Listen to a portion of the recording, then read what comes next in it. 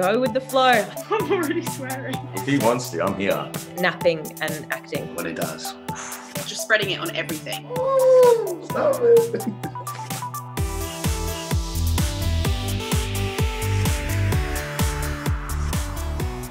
Signing on to the role it came with very specific sort of requirements, including, you know, learning horse riding and sword fighting and stunts. We had about three weeks of intensely training before we dived into the 10 month shoot.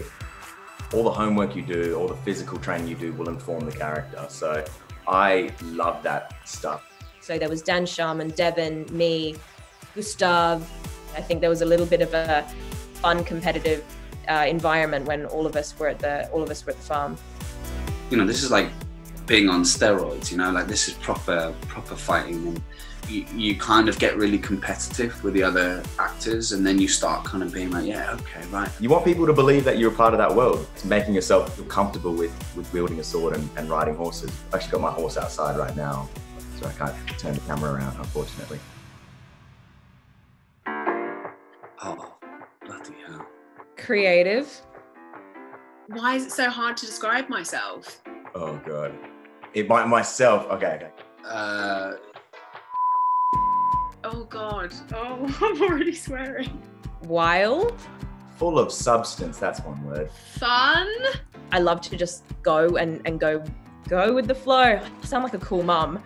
Light-hearted. Is that one word? With is one now. an old man in a, a relatively young person's body. Energetic. Prepared. Loving. Oh my gosh. I mean, it definitely wouldn't be Shalom if I'm going to be honest with you. I was gonna say Barack Obama, but then I could just ask Devon to dress up as Barack Obama and do because he played he played Barack. I'd have to probably go Barack Obama as well. I'm available if he wants to go to dinner as well. So, like, if he wants to, I'm here. oh, as our characters, as Arthur and the Weeping Monk, yeah, I've got no shot. But I try. I'd watch Devon come into the gym. Now, there were days where I would come in at the same time as Devon, and uh, and he, let's just say he would leave earlier than I would. I'm gonna have to go on myself. I know if Daniel says himself, I totally respect it, but in this moment, I've gotta, I've gotta show out.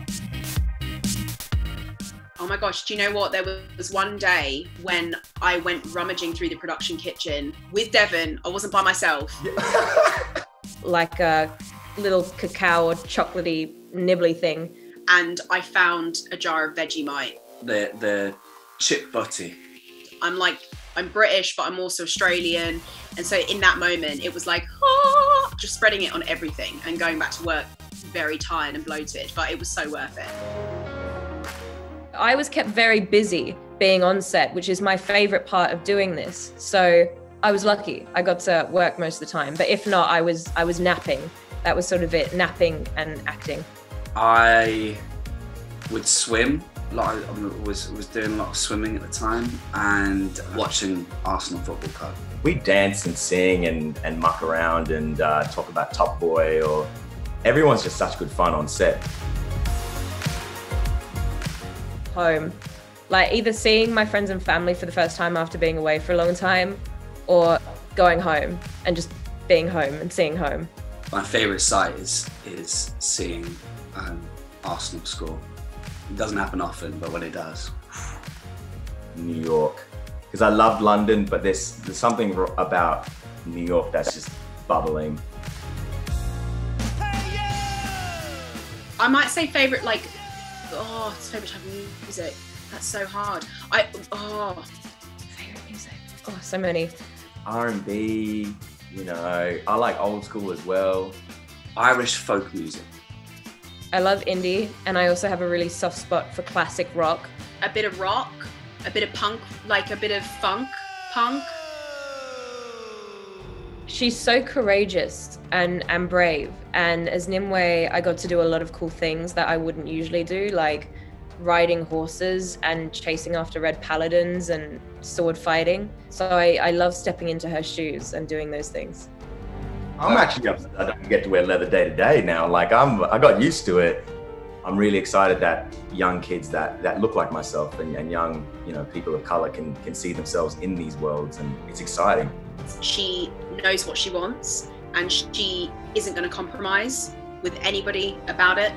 And she's headstrong and sincere.